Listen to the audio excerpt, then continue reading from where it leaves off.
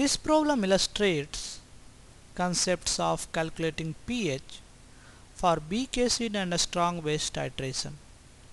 Question says calculate the pH of a solution formed when 45 ml of 0.1 m NaOH is added to 50 ml of 0.1 m acetic acid.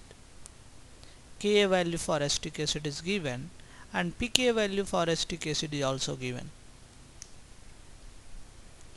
So we have been given NaOH this is 45 ml this is 0.1 m NaOH so we can calculate mole of NaOH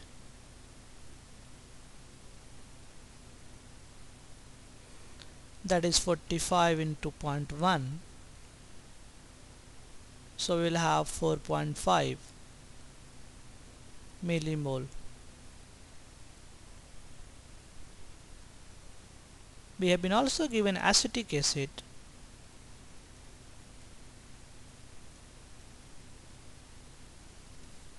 And this is 50 ml and 0.1 m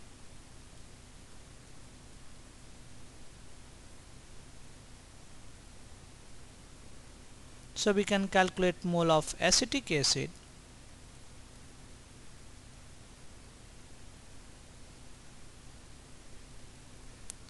That is 15 to 0.1 so we will have 5 millimole.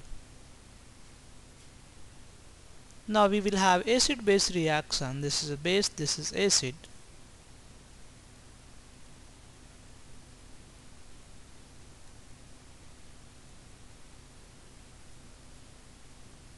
we will have CH3COONA plus H2O. Mole of acid is 5 and mole of base is 4.5. So NaOH is limiting. So this is at T is equals to 0. When this reaction will end, it will have T is equals to T that is 0.5 millimole of acetic acid will remain and this will have 0 millimole of NaOH and we'll have salt that is 4.5 millimole. Now to calculate the pH of equation pH of solution we can use the following equation pKa plus log of concentration of salt divided by concentration of acid. So this is Henderson-Hasselbalch equation. pK is given that is 4.74 plus log of concentration of salt salt is 4.5 millimole and let us say volume is given 40, 45 and 50 that is 95 so this divided by 95 and acid we have acid left is 0.5 millimole and the volume is again 95 so volume basically cancels. So we can also write in terms of mole ratio. So log of 4.5 divided by 0.5 so we can calculate this value. So 4.74 plus 4.5 this divided by 0.5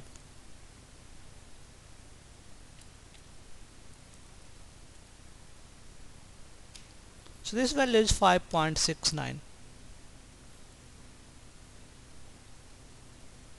So pH of this solution is 5.69.